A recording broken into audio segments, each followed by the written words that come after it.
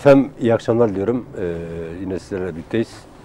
Yayınlarımız çeşitli kurum, kuruluş temsilcilerle de devam ediyor. Bu haftaki konuğum TÜGO Adıyaman İl Temsilcisi Sayın Recep Tepe Bey ile birlikteyim.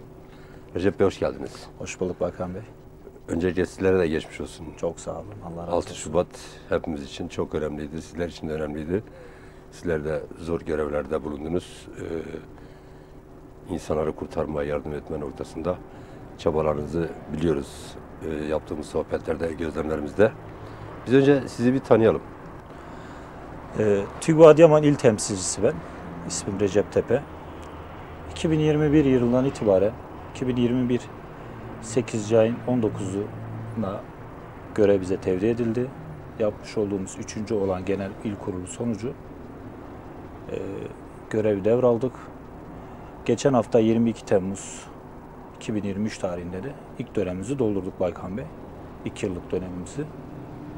Tabii bu süre zarfında dördüncü olan il genel kurulumuzu yapmış olduk. Bir yeni dönem, iki yıllık yeni bir dönem tekrar bize tevdi edildi. İnşallah 2025 yılına kadar yine Adıyaman il temsilcilik görevimizi yürüteceğiz. Dernekler masasına bağlı olarak hareket ediyorsunuz değil mi siz de? Yok, bizim genel merkez. Genel merkeziniz tabii, var. 81 ilde. Evet. 81 ilin tamamında il temsilciliklerimiz var. 81 ilin yanında da 600'e yakın da ilçe temsilciliklerimiz var. Yani derneklerle falan bir şey yok. Güzel bir ah. Yani Türkiye'de gerçekten böyle bir teşkilat e, Eyvallah, sağ hemen yok. Çok teşekkür ederiz. Deprem süresince TÜGO olarak Adıyaman'da neler yaptınız? Şimdi Baykan Bey, Gençlerimize- e, yönelik öncelikle ben e, malum 6 Şubat'ta Kahramanmaraş, Kahramanmaraş merkez üssü olmak üzere 11 ilimizi aynı anda etkilen bir yüzyılın afetini e, yaşadık. Tabi bu sürede en çok etkilenen illerden bir tanesi Adıyaman'ımızdı. E, depremi ilk, ilk anında tabii ki e, çok kayıplarımız oldu. Biz ilk saatlerinde çok tabloyu da kestiremedik. Genel merkezimiz bu noktada hemen hızlıca bir aksiyon aldı. Bizlerle iletişime geçtiler. Tabi hasar olmayan 80 81 ilde temsilcimiz var ama bir 70 tane ilimiz hızlı bir şekilde e, müthiş bir organizasyonla illerimize gönderildiler. Bizim Adıyaman'ımıza da geldiler ikinci gün hatta e, günün ilk saatlerinde Genel Başkanımız İbrahim Beşinci direkt Adıyaman'a geldi. Tabii biz o zaman enkaz çalışmalarındaydık. Yakınlarımızı kaybetmiştik. Bizzat gelip tabloyu da gördü kendisi.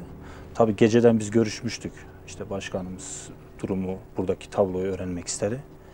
Biz durumu anlattık. Tabii o süreçte biliyorsunuz yolların, hava şartlarının çok kötü olmasından dolayı Tabii. Adıyaman'a gelme süresi biraz diğer gün sabah 9'u falan bulmuştu. Ee, hızlı bir, hızlı bir şekilde müthiş bir koordinasyon sağladı bizim genel merkez.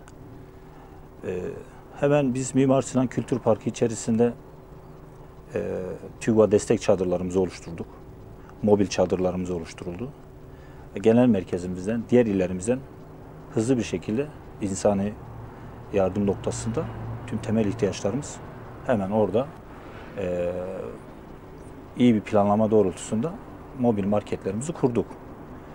Tabii mobil marketlerimizi kurduk. Mobil marketlerimizi kurduktan sonra şöyle bir ihtiyaç da e, tabii bu bir tecrübe. Daha önce böyle bir tecrübe edinmediğimiz için yol Tabii. yolda giderken yeni yeni tecrübeler ediniyoruz.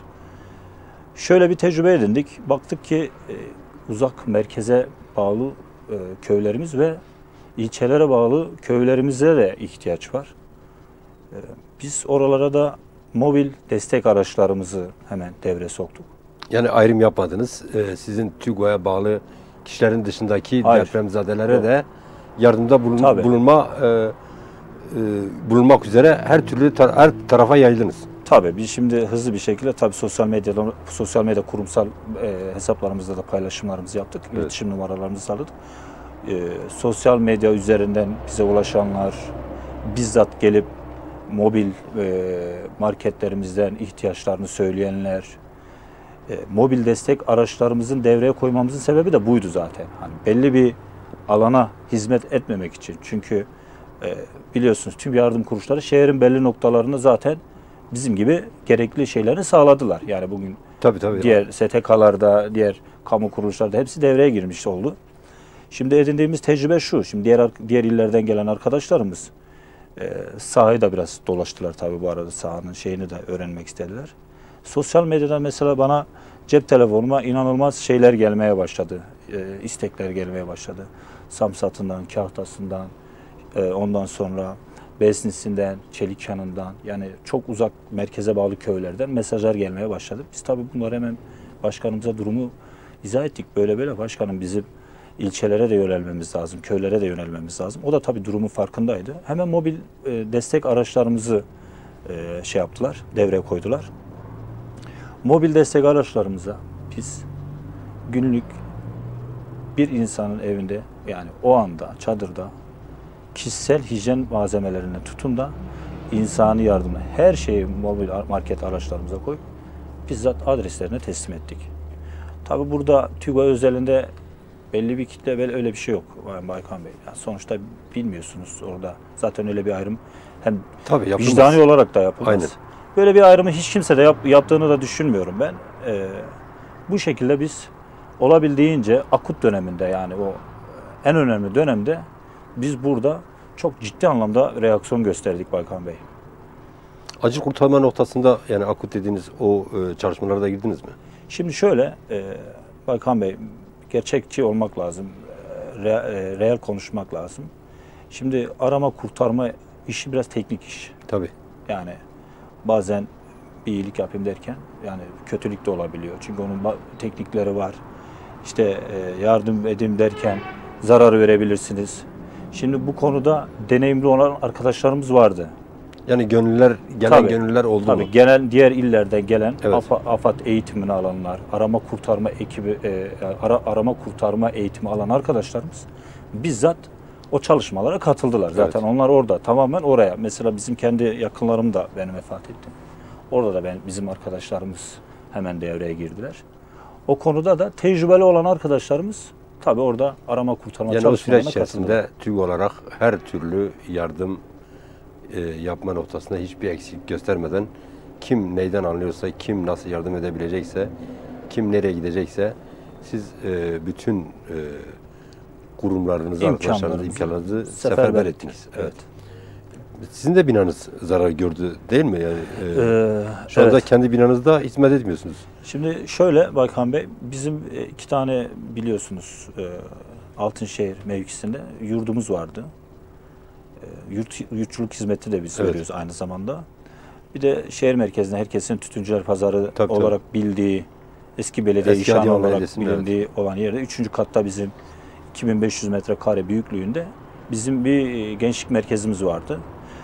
Bakan Bey orada çok ciddi çalışmalarımız vardı. Çok e, 15-16 tane e, atölyemiz vardı, dersliklerimiz vardı, kütüphanemiz vardı, spor salonumuz vardı, teknoloji sınıflarımız vardı, robotik kodlama eğitim sınıflarımız vardı. İşte e, kültür sanat sınıflarımız vardı. Maalesef e, depremden sonra orası durumunu biliyorsunuz. Hani orta hasar oldu. Şu an orayı biz de kullanamıyoruz. Süreci bekliyoruz. E, yurdumuzdan alakalı e, şu an şey aşamasındayız, tadilat aşamasındayız. Yurdumuzda çok ciddi anlamda bir sorun yok Baykan Bey. Genel merkezlerinde yapmış olduğumuz görüşmelerin neticesi sonucunda e, sonraki süreçte yani hayat zaten artık normalleşmeye başladı. Normalleşecek de normalleştirmek zorundayız. Yani bizim çalışmalarımıza devam etmek zorundayız. Şimdi bundan sonraki süreçte biz e, mevcut olan e, yurt binamızı hem il temsilcilik binası yani gençlik merkezi olarak kullanmak e, bir ve ikinci katı o şekilde planlıyoruz. Kalan kısmı da yurtçuluk hizmetimizi devam ettireceğiz. Çok önemli. Neden? E, eğitim öğretimen e, başlamasına yavaş yavaş e, gidiyoruz. Okullar açılacak. Evet. Şimdi burada ev sorunu var. Burada barınma sorunu e, özellikle dışarıdan gelenler için daha hala e, ortada. Onun için yurt da gerekli. E, özel yurtlar da gerekli. Sizin gibi işte kamu görevi e, yürüten e, kurumların da yurtları gerekli. İnsanların barınması için, öğrencilerin kalabilmesi için, eğitimine devam edebilmesi için gerçekten bu yerler de önemli. Buna kavuşturmak adına mı Tabii. böyle bir çalışma Tabii içerisindesiniz? şimdi şöyle e, Bakan Bey yapmış olduğumuz tabii ki araştırmalar da var. Çalışmalarımız da bu yönde. Şimdi Adıyaman'a gelen öğrencilerin çoğu %90'ı Adıyaman Altınşehir mevkisi dediğimiz Tabii. bölgede e, genelde kalıyorlar. Ve yurtlarda kalan öğrenci sayısı evlerde kalan öğrenci sayısından daha az. Yani öğrenciler daha çok evlerde kalmayı tercih ediyor. Bunlar da biliyorsunuz bu bölgede Altınşehir Altınşehir mevkisi bölgesinde bir artı bir apart dairelerinde daha çok e, kalmayı tercih ediyorlar. Bu oran da yüzde 45. Yani Adıyaman'da 20 bin öğrenci varsa bunun 9 bini, 9 binine yakını e, buralarda e, kalmayı tercih etmiş. Şimdi önümüzdeki dönemde muhtemelen üniversiteler, okullar açılacaktır. E, Şehir merkezine biliyorsunuz çok ciddi anlamda e, yıkılmış evler var ve yıkılma, yıkılacak olan evler de var. Ağır Tabii. hasarlı olan evler de var. Şimdi mevcut Adıyamanlı ailelerimiz bu bir artı bir evlere e, yöneldiler. Yani baktığınız zaman Altınşehir bölgesinde Kiralar da bir hayli yüksek oldu. yani kiralar da şimdi. yükselince ve kaldı ki kiralık evde hani Yok. biraz azalınca öğrenciler bu sefer yurda yönelmek zorunda kalacaklar. Şimdiden sizin arıyorlar, sizi arıyorlar mı? Tabii şimdi yurttan alakalı önceki yıllardan daha çok bir ihtiyaç ve talep var. Tabii. Şimdi önceki yıllarda da e, TÜGVA yurtlarımız e, gerçekten 5 yıldızlı otel konforunda yani bir gün davet edebiliriz inşallah yurdumuzun gerekli tadilatı, tefrişatını yaptıktan sonra öğrenciler e, TÜGVA yurtlarında e, şöyle söyleyeyim 4 yıllık fakülte e, okuyan bir öğrenci birinci sınıfta TÜGVA yurduyla tanışmışsa dördüncü sınıfa kadar orayı bırakmak istemiyor. Orada kalmak istiyor. Çünkü şartlar çok iyi. Yani Çok yeme, cüzi- yemeden, yemeden, Tabii. içmeden, barınmadan, Tabii ba- e, e, bütün teknolojiye kadar. teknolojiye kadar Tabii. bütün imkanları Tabii. siz sunuyorsunuz. Tabii ve e, şey de ekonomik olarak da öğrenciler için, aileler için e, çok makul rakamlarla kalabiliyorlar. Ve hizmet noktasında da bunu abartarak söylemiyorum. e, Gerçekten 5 yıldızlı konfor düzeyinde yurdumuz bu, bu özelliğiyle zaten ön plandaydı. Tercih edilmesinin sebebi de bu şekilde. de. Yani bir Her- ev ortamı gibi. Aile ortamı. Aile ortamı. Şimdi evet. Balkan Bey, öğrenciler, biz de tabii öğrencilik dönemimiz oldu. Biz de üniversite okuduk. Şimdi düşünün ki 20 yaşında, 18, 19, 20 yaşında ailesinden kopup hiç daha önce hiç görmediği, daha öncesinde hiç tanımadığı insanlarla muhatap olmak zorundasın. Orada 4 yılını geçirmek zorundasın. Evet. Öğrenci orada bir aile ortamı istiyor. Yani bir e, abi kardeş ilişkisi istiyor. Bizim yurtta da çok ciddi anlamda e, öğrencilere e, az önce bahsetmiştim. İl temsilcilik binamızda kültürden, sanattan, spora faaliyetlerimiz var. Aynı şekilde bu faaliyetlerimizi biz yurtlarımıza da yansıtmıştık. İnşallah dediğim gibi yurdumuzu belli bir aşamaya getirirsek orada da kısmet olursa orada da bir program yaparız. Ee, öğrenciler dediğim gibi birinci sınıftan TÜGVA yurtlarıyla tanışmış olan bir öğrenci dördüncü sınıfı sonuna kadar yurtta kalmayı tercih ediyor. Sadece şunu da bir altını çizerek söylemek istiyorum. Sadece Adıyaman özelinde olan bir şey değil. Yani e, bir özel bir durum değil. Mesela İstanbul'da Florya yurdumuz var. Yine İstanbul'da işte Üsküdar'da yurdumuz var. Ankara'da yine yurtlarımız var. Bursa'da yurtlarımız var. Yani yurtlarımız hepsini birbirinden daha konfor düzeyleri yüksek şekilde hizmet etmeye çalışıyorlar. İnsanı yaşat ki devlet yaşasın. Şimdi biz gençliğimize sahip çıkmazsak, bunları bunların okumasına yardımcı olmazsak, bunlara yurtlarımızı açıp, okullarımızı açıp bunlara destek olmazsak bizim geleceğimiz gerçekten eee, Tehlike çok altında tehlike olabilir. altında olabilir. Onun için ben de eğitim, öğretime önem veren biriyim. Özellikle üniversitede okuyan bir öğrencinin nasıl kaldığını, hangi şartlarda hayatını sürdürdüğünü e, biliyorum. E, gerçekten çok zevkli e, bir hizmet dalı olarak görüyorum. Keşke imkanlar olsa Evet. onlara hizmet edebilesin, Evet. onları eğitesin, onları onların o göreve başladığı zaman onları görüp o mutluluğu görmek, e, onu görmek ne kadar insan mutlu olur diye şimdi gözümün önüne geliyor. Yani Çok önemli bir hizmet. emin olun ben e, bu noktada gerçekten yani inanılmaz bir özveriyle yani sonuçta yetişkin gençler talepleri oluyor, istekleri oluyor. Bir gün olsun biz onlara karşı yüzümüzü, olumsuz yönünü hiçbir zaman göstermedik, göstermeyiz de. Çünkü o çocuklar yani bizim geleceğimiz. Yani biliyorsunuz 20 Tabii. yılda bir kuşaklar Kuşak de- kuşaklar değişiyor. Şu an biz de ben şu an 35'li yaşlardayım. Biz de 20 yaşları devirdik. Kendimize göre ikinci kuşağımızı devireceğiz. Şimdi biz üçüncü kuşak olduğumuz zaman onlar ikinci kuşak olacak. Böyle böyle devam edecek. Bizim bu gençlere sahip çıkmamız lazım Bakan Muhakkak. Bey. Biz bunlara yeri geliyor anne oluyoruz, baba oluyoruz, abi oluyoruz, kardeş oluyoruz. Biz her dertleriyle eee, ilgileniyoruz. İlgilenmeye de devam edeceğiz yani. Biz bu gençliği hiçbir zaman boş bırakmayacağız. En büyük hizmet budur aslında. Yaz dönemlerinde e, ne yapıyorsunuz öğrencilere? Tabii deprem bölgesi olmamız, olması sebebiyle belki biraz kısıtlıdır ama yine bildiğim kadarıyla siz hizmetlerinizde süreklilik esası üzerinden devam ederek yaz hizmetleriniz de var. Onlardan neler var? Evet. Şimdi Baykan Bey çok önemli bir noktaya değindiniz.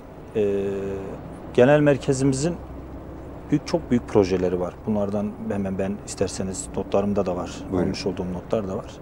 Şimdi isterseniz ben TÜGVA'nın e, biraz içeriğinden bahsetmek isterim. Tabii.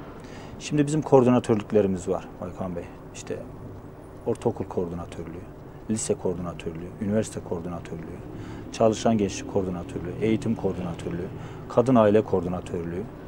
Bizim 7 tane koordinatörlüğümüz var. Ben bunlardan birkaç tanesini zamanımızda sanırım çok fazla yok. Birkaç tanesine değinmek isterim. Şimdi e, biz bu yaz genel merkezinde en son yapmış olduğumuz toplantıda ya işte ortaokul koordinatörlüğü bu yaz dönemi bizim en çok yoğunlaştığımız koordinatörlük ortaokul koordinatörlüğü. Yani ortaokul çocuklarına ve ikinci koordinatörlüğümüz lise.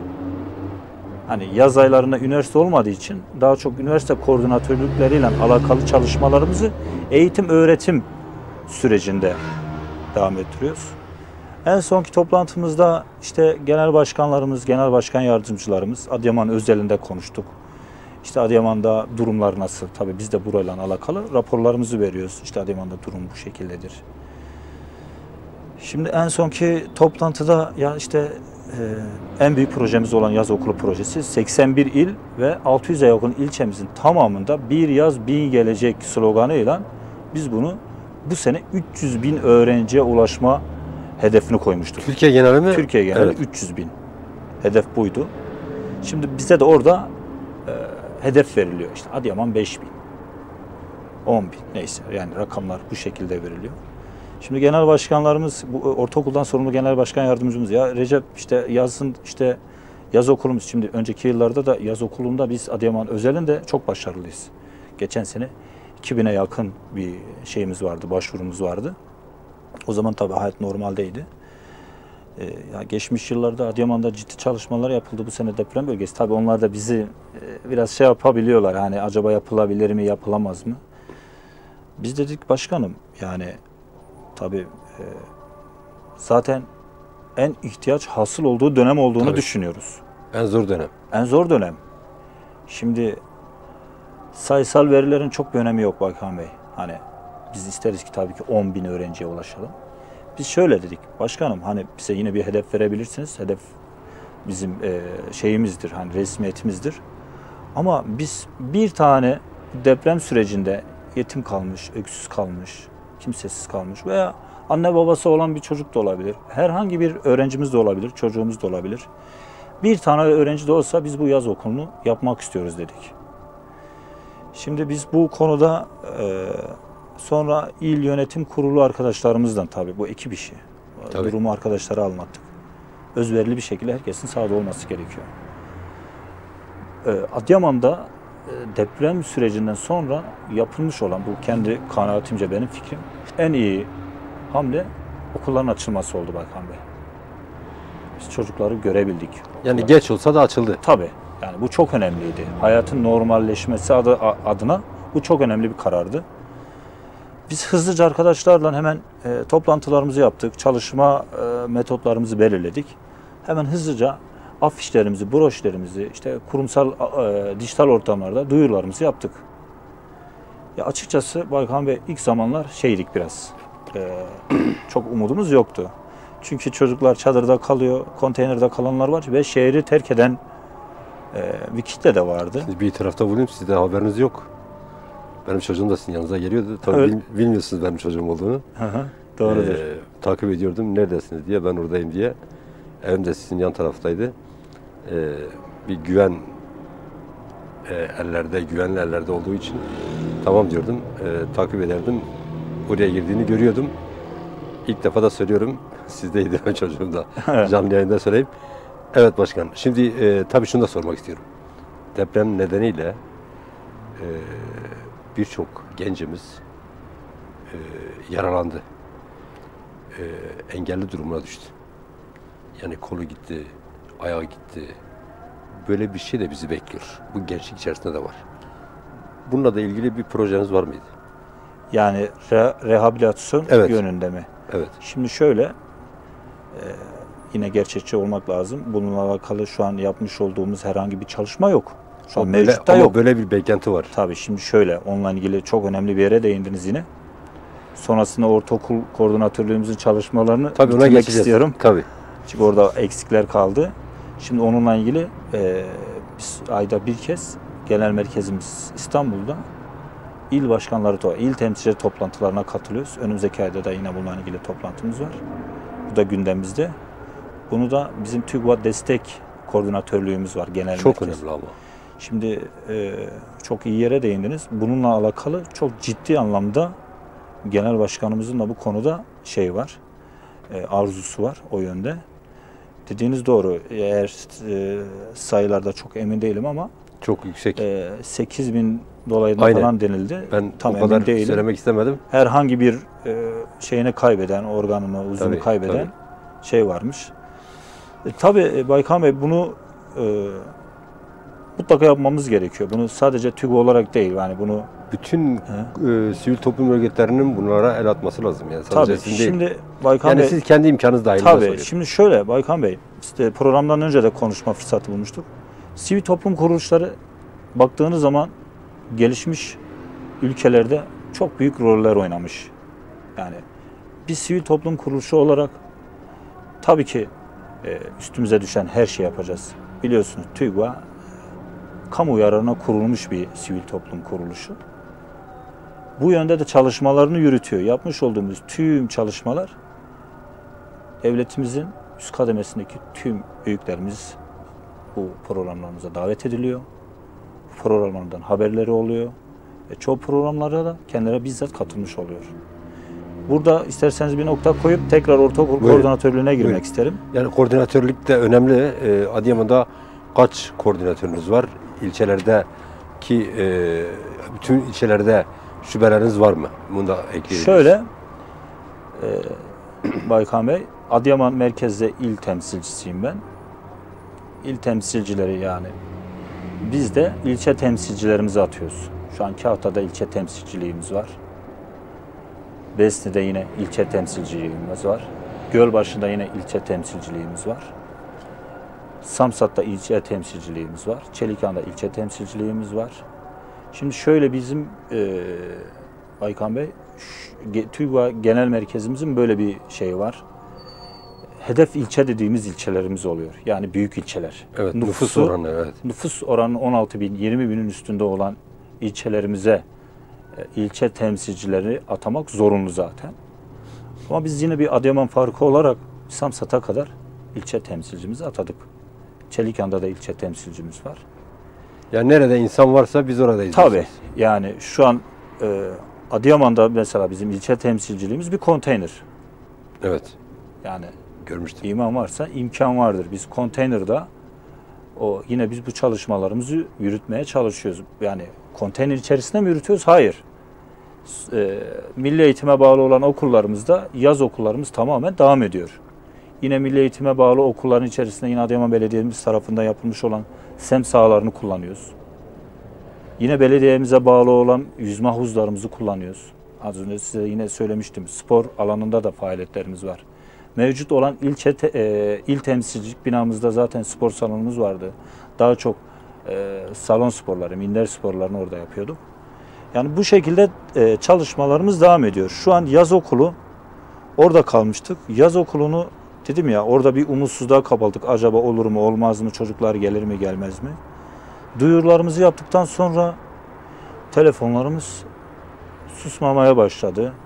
Dostlar aramaya başladı, arkadaşlar aramaya başladı. Yani talep gelmeye başladı. Tabii ciddi anlamda bir talep oldu.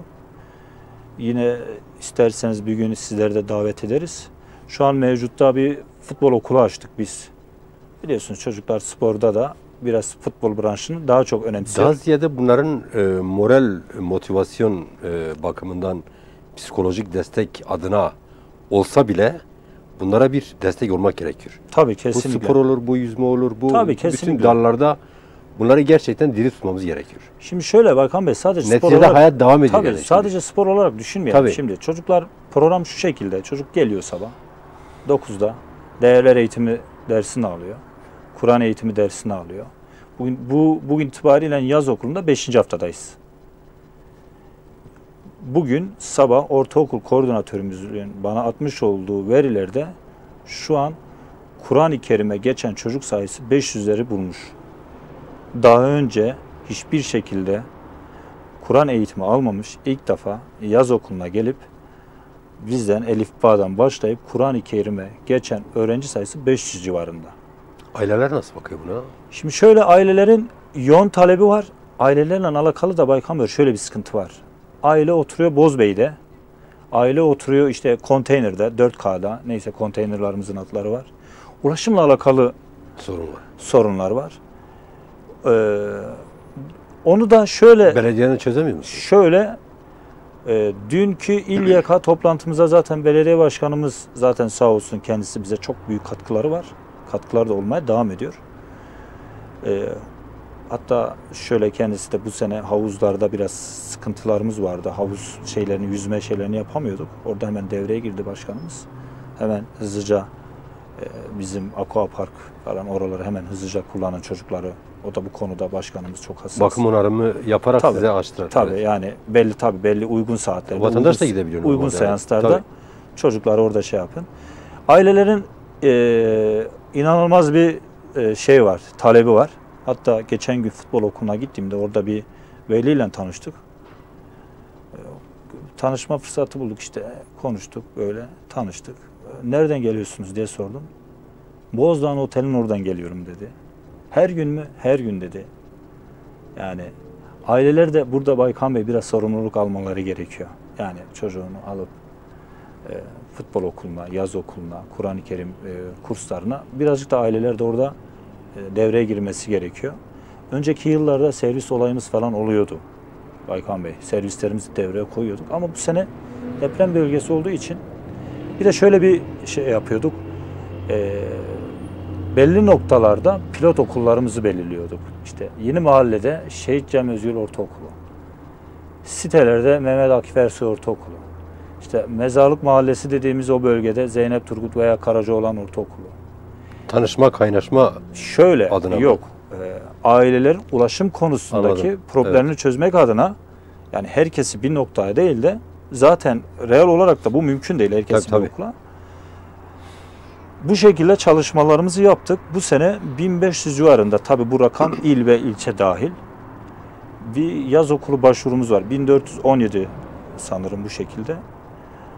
Ee, yaz okulumuz dolu dolu geçiyor. Yaklaşık e, 10 gün sonra yani bir hafta yani önümüzdeki haftadan sonraki ilk cuma kapanış programı düzenliyoruz. Yine orada büyük bir kapanış programı yapmayı düşünüyoruz. Yaz okuluna katılan, bunu da özellikle vurgulamak istiyorum. Yaz okulumuza katılan çocuklarımıza biz Kur'an-ı Kerim'inden, değerler eğitimi defterlerinden, kitaplarından, kaleminden, çantasına kadar, zeka oyunlarından, satranç takımından, barikat takımlarından, mangal setlerine kadar tüm e, ekipmanlarını, dokümanlarını genel merkezimiz bize gönderiyor. Biz çocuklarımıza bu tüm e, şeyleri veriyoruz. Hatta bu sene deprem bölgesi olması hasebeyle de bize biraz pozitif ayrımcılık da yaptılar. Önümüzdeki hafta yine ciddi anlamda çocuklarımıza çok ciddi sürprizlerimiz olacak. Evet. Yine oyun gruplarımız gelecek. O zaman Çocuklarımıza da- çocuklar size yönelecekler. Aynen, aynen. Şimdi efendim e, Tabii hizmetlerinizi sayarsak bitmez, devam eder. Bir, ama e, benim bir TÜGVA il temsilcisi olarak, Recep Tepe olarak Z kuşağı dediğimiz bir kesim var. Ve herkesin birçok kesimin de şikayet ettiği, işte efendim başıboş yetiştiği, günübirlik e, hayatını idame ettiği, e, yarını düşünmediği, e, işte efendim gelecek adına hiçbir kaygısı olmadığını, büyük, küçük, adab-ı muaşeret dediğimiz noktalara riayet etmediğini ve birçok insan bunlardan şikayetçi. Yani bazı ailelerde mesela görüyoruz çocuk işte normalde bizde bizim aldığımız ahlaka göre çocuk büyüklerin yanında asla ayağını üstte atamaz.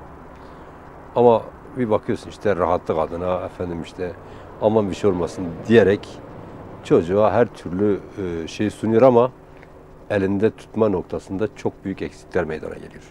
Çocuğunuzu sevebilirsiniz ama toplumu da sevmesi için, topluma faydalı olabilmesi için de sizin biraz daha gayret etmeniz gerekiyor diye düşünüyorum. Şimdi e, bu Z kuşağı ile ilgili bir kurumun başında olan e, biri olarak siz ne diyorsunuz?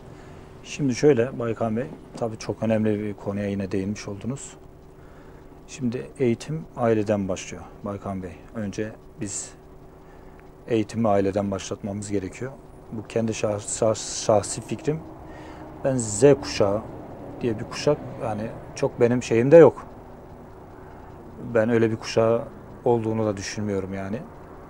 Şöyle tanımlayabiliriz. Yani, son kuşak dediğimiz ona Z diyorlar. Şöyle bunu daha çok farklı bir kesim bu gençlerimizi bir harfle mutlaka tanımlamak istiyorlar. Evet.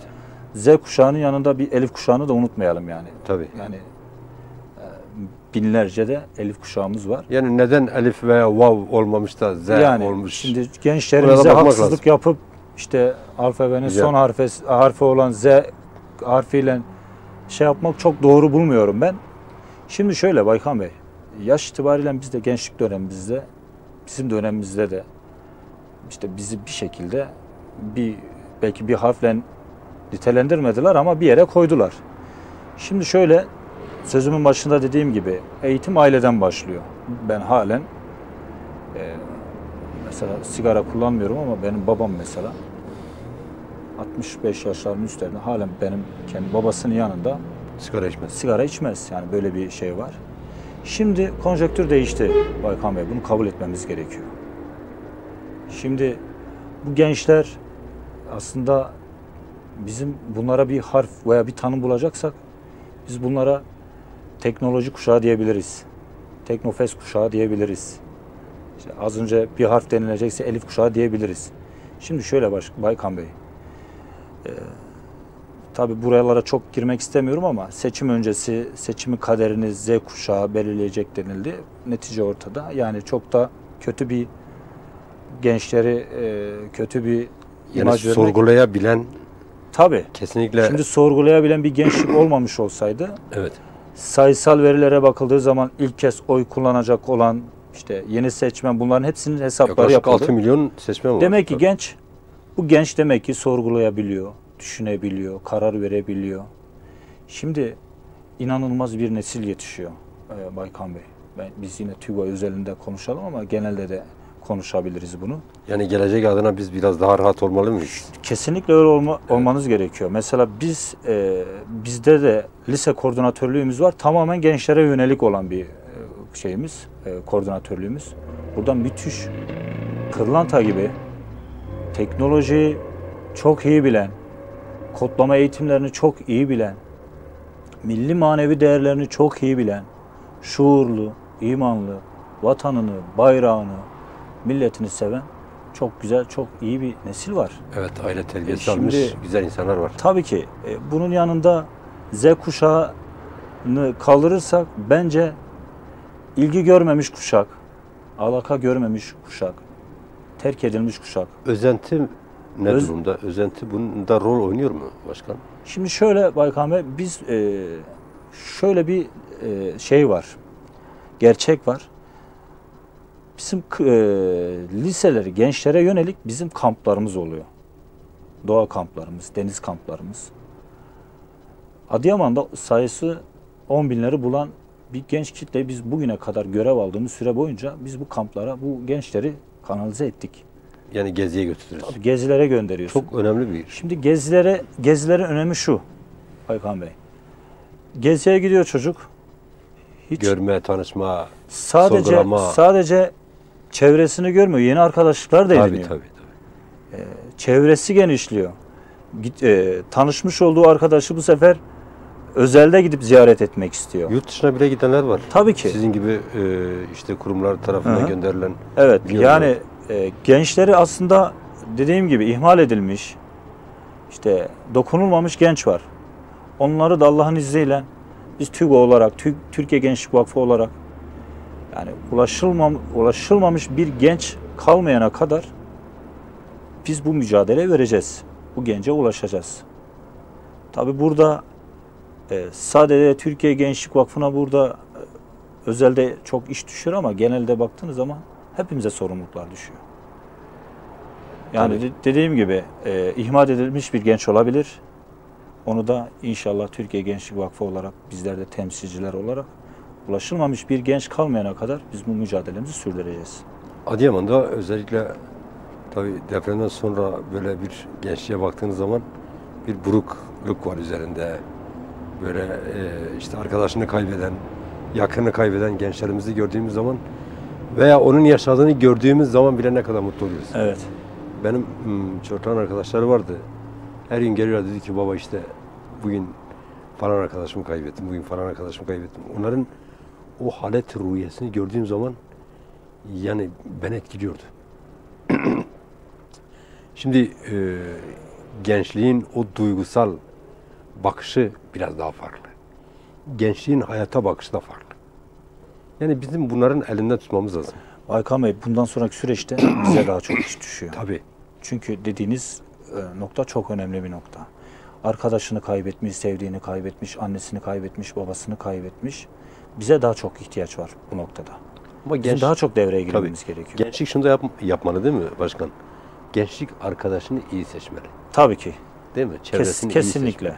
Tabii. Şimdi e, işte bir sefer bir uçucu dediğimiz şeyle bir şey olmaz deniyor ama ne yazık ki e, bir seferle başlattıktan sonra iş kötüye gidiyor. Evet. Onun için gençlerimizin özellikle arkadaşını iyi seçmesi gerekiyor. Evet kesinlikle. Evet. Yani bir şey varsa ailesinde de paylaşması gerekmiyor mu? Siz diyelim bazen işte diyelim bu gibi zor durumlarla karşıya kal, karşı karşıya kalma durumunuzda ım, durumuyla ım, karşılaştığınızda siz aileleriyle de irtibata geçiyor musunuz? Tabii şöyle çocuk genç çok özel bir durumu oluyor. Bunu annesine babasına anlatamıyor. Abisi belki yok. Evin tek çocuğu olabiliyor. Veya varsa çekiniyor. Anlatamıyor. Bununla ilgili somut örneklerimiz de var. Burada tabii bunları Tabii. isimle söylemek çok doğru değil. O konuda da biz gençlerimizi Baykan Bey benim en hassas olduğum noktalardan bir tanesi bu. Şu an e, Mimar Sinan Kültür Parkı'nda olan konteynerimizde şu an gençlerimiz orada muhtemelen oturuyorlardır. Çaylarını içiyorlardır, kahvelerini içiyorlardır. Arkadaş ortamında muhabbet Sıcak bir sohbet vardır değil mi orada? Tabii. Her gece Buradan se- selamlarımızı gönderiyoruz o gençlerimize. Ee, Belki bizi izliyorlardır da. yani her gece o gençler orada ve o halkayı biz günden güne genişletiyoruz. Dedim ya terk edilmiş, ihmal edilmiş genci bula- e, bulmanın yolları da yine bizim bünyemizde olan, bizim yanımızda olan gençlerle biz o gençlere ulaşacağız. Tabii. Biz ben gidiyorum, bakıyorum yeni bir genç. O merhaba kardeşim hoş geldin. Kimsin? Tanışıyorsunuz. Bir arkadaşlık dostu. Sonra Size açılabiliyorlar mı? Mesela bir şöyle olduğu zaman. tabii şimdi şöyle yaş itibariyle de biz biraz o genç kardeşlerimize e, yakın olduğumuz için bize bu konuda rahatlıkla tüm dertlerini söyleyebiliyorlar. Biz de orada gerekli inisiyatifleri alıp aileleriyle gerekli şeyi sağlıyoruz yani. O, o konuda e, mutlaka desteğimiz oluyor. Ee, şimdi tabii maddi durumu yerinde olmayan gençlerimiz de var. Hı hı. Haliyle bir yerlere sığınmaya çalışıp böyle e, kendine özgüveni olmayan insanlar da var. Siz bunlarla da ilgili bir çalışmanız oluyor mu? Maddi durumu kötü olan çocuklarla alakalı mı dediniz? Gençlerle alakalı mı? Şimdi diyelim maddi durumu yok. Şöyle Baykan Bey, resmi Ee, olarak zaten Bunlara bir yardımınız, Şöyle. e, yani özgüven adı altında bir diğer arkadaşından yardım almamak adına siz ona e, yardımcı oluyor musunuz? şimdi şöyle Baykan yani Bey. iş verme bakımından, çalıştırma bakımından, gelecek açısından bunları da Şimdi yapın. şöyle Buyurun. Baykan Bey öyle bir çalışmamız yok. Şimdi gençlere maddi olarak gerekli desteği sağlamak, işte belli bir miktarda para falan vermek çok ben e, şahsi olarak çok uygun da bulmuyorum. Evet. Şöyle desteğimiz oluyor. Zaten bu e, genç muhtemelen öğrenci oluyor. Öğrenci ise de bununla alakalı zaten bizim burslarımız var. İhtiyacı neyse Yani Evet. burslarımız oluyor. Zaten burada da ihtiyaç sahibi olan e, gençlerimiz resmi olarak zaten bizim resmi sitemizde başvurularını yapıyorlar. Orada gerçekten ihtiyaç sahibi ise orada zaten o maddi olarak o işte Eğit- rencide, etme, rencide etmeden burs veriyorsanız bu bile en tabii önemli eğitim öğretim süreci içerisinde kullanabilmesi için Tabii, bursunu tabii. alabiliyor. Evet. Ama diğer türlü tabii ki Tabii diğer şey türlü çok- demiyorum Hı hı. zaten. Ben e, oraya getirmek istedim Hı zaten hı. o Tabii şeyi. burs, bursumuz, Sözü- evet. burs çalışmamız var. Yani o da çok önemli. En azından o çocuğun e, cebinde harçlığı olması, kendine güven bakımından biraz daha ayakta durması adına e, burs da çok önemli. E, vatandaşın da aslında e, öğrencilerimize burs vermesi kadar güzel bir şey yoktur. En azından bir insan yetiştiriyorsunuz. E, sigaraya verilen bir sürü para var ama bir öğrenciye bir burs verdiğiniz zaman en azından onun pardon onun hayatını kurtarsınız. Ona yardımcı olursunuz. Evet. İnsanlara da yük düşüyor burada. Evet Doğru. başkan tabii yavaş yavaş da bizim sürenin sonuna geliyoruz. Evet. Ee, TÜGVAN'a ilgili e, sizin daha söylemek istediğiniz koordinatörle ilgili. Şöyle e, isterseniz toparlayalım be. Buyurun. E, konuyu da toparlayabiliriz. Şimdi tabii e, programın başında söylemem daha uygun olurdu ama şimdi malum çok kötü günler geçirdik. Çok kö- kötü günler neticesinde yakınlarımızı kaybettik. Ben e, deprem sürecinde hayatını kaybeden vatandaşlarımıza Allah'tan rahmet diliyorum. Tabii ki bahsettiğiniz gibi çok yaralımız var. Yaralılarımıza acil şifalar diliyorum. Ben burada ayrı bir özel parantez açmak istiyorum. Çok kıymetli dostumuz, büyüğümüz, bende yeri çok ayrı olan, e, kendisine çok değer verdiğim İskender Korkut Evet. abimizi de burada unutmamak gerekiyor. Göreve geldikten sonra bana birçok konuda destek e, de bulunmuştu, yardımcı olmuştu. Fikirleri, düşünceleri benim için çok kıymetliydi. Tabii ki çok acı kaybımız. Onun gibi basından Ee, 13 tane arkadaşımız var. Belediyeyle Tabii birlikte diğer 18 tane var. diğer e, basın mensubu arkadaşlarımız da çok kıymetli, çok değerliydi. Ama İskender abi de burada ben Allah'tan rahmet diliyorum. Kıymetli ailesine başsağlığı diliyorum. Ee, inşallah hep birlikte bu yaraları beraber saracağız. Bu Adıyaman'ımızı inşallah eski günlerine yine heykel meydanında yürüyeceğiz.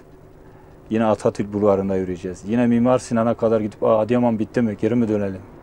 Yine o günlere inşallah geleceğiz. Yine Demokrasi Parkımızda oturacağız. İnşallah.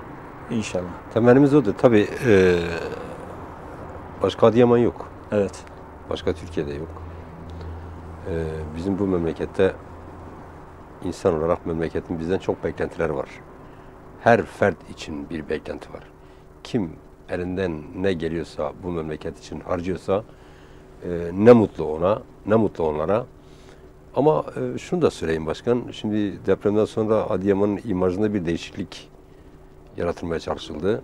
Sanki Adıyaman insanı e, hepsi kötüymüş gibi, hepsi işte yağmacıymış gibi, hepsi e, işte soyguncuymuş gibi bir intiba yaratılmaya çalışıldı, çalışıldı ama kusura bakmasınız hepimiz öyle değiliz. Yani ufak tefek şeyler mide bulandırabilir ama bizim insanımız yine güzel insan, yine Adıyaman'ımız güzel Adıyaman. Temennimiz odur ki yetkililerin bir an önce bizleri enkazlardan kurtarıp barınma yerlerine kavuşturması İnşallah. noktasında gençliğimizi de e, yine o eski moral motivasyona e, kavuşma adına elinden gelen her şeyi yapsınlar temennisinde bulunuyoruz. İnşallah.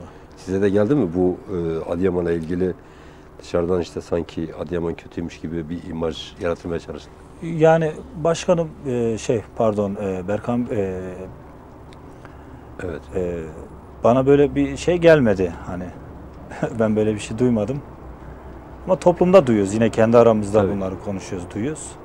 Ama dışarıda özelde arkadaşlarım, il dışında olan arkadaşlarım falan bana böyle bir şey söylemedi. E tabi toplumda kendi aramızda konuştuğumuz zaman buna benzer şeyler duyuyoruz. Bu da normal yani insanlar bunu bilinçli yapmıyordur. Ben bunu da yine depremin psikolojik etkileri olduğunu düşünüyorum. Çünkü zor süreçten geçtik. Onlar bunu bilinçli yapmıyor diye düşünüyorum. Yapanlardan kastediyorum. Bunlar da geçecektir. Hayat normale dönecektir. Ben onu niye sordum? Ee, bunu yapanlar da bir gençlik geçirmişlerdir. O gençliğinde eğer e, bir yerlerden derslerini almamışlarsa, toplumun ne kadar faydalı olduğunu öğrenmemişlerse, bugün onlar bunu yaparlar. Biz de gençliğimize sahip çıkmazsak, yarın onlar da başka şey yaparlar. Evet. Onun için bizim bugünden tezi yok, gençliğimize sahip çıkmamız gerekiyor. Evet kesinlikle Başka öyle. toparlayabilirsiniz.